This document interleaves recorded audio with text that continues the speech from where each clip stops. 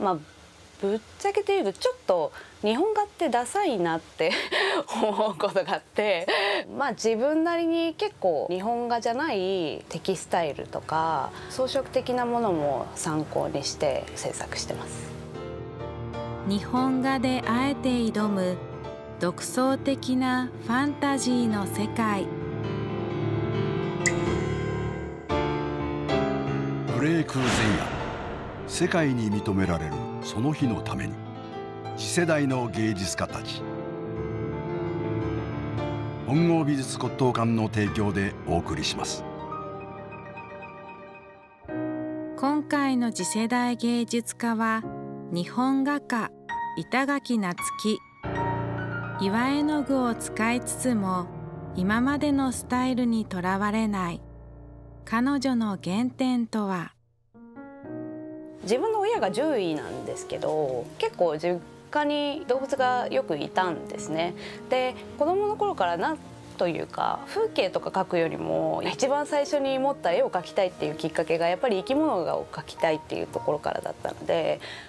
まあ、純粋にこう生き物の形を取るのが好きだっていうのもあるしその存在を感じるっていうこと命を感じることっていうことをそのまま絵にぶつけられたらなっていうふうには思ってます。しかし彼女のキャンバスに描かれるものは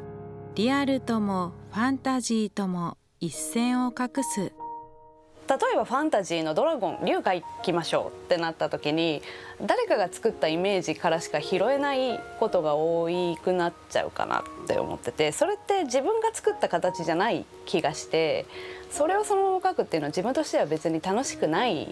かなって思うのでただそのものをうまく描くっていうだけの絵にしたいわけじゃない。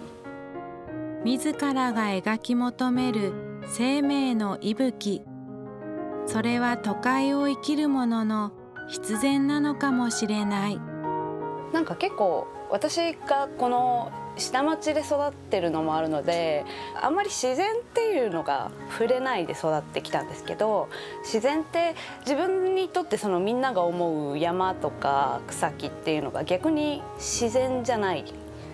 なんか特別な存在に感じられるんですねなんかすごく圧倒されたりとか自分にとって現実じゃない世界っていうのを取り入れたくって書いてたりはします。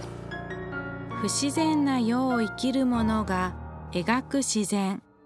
そんな板垣夏樹のブレイク前夜。絵に関してはずっと悩んでることもあるんですけどあのおしゃれにしたい。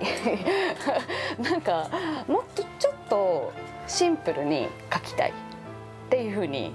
今のところ思ってます。でも描きすぎちゃうんですけどね 私の。ダメなところなんですけど。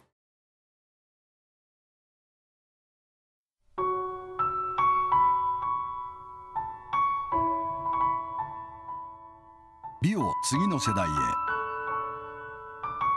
27人のあらゆる分野の鑑定士があなたのお手伝いをいたします。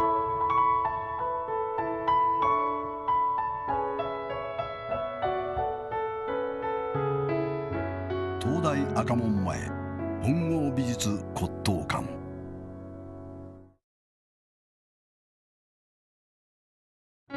次週はライブペイントアーティスト桂川桃子のブレイク前夜本郷美術骨董館の提供でお送りしました。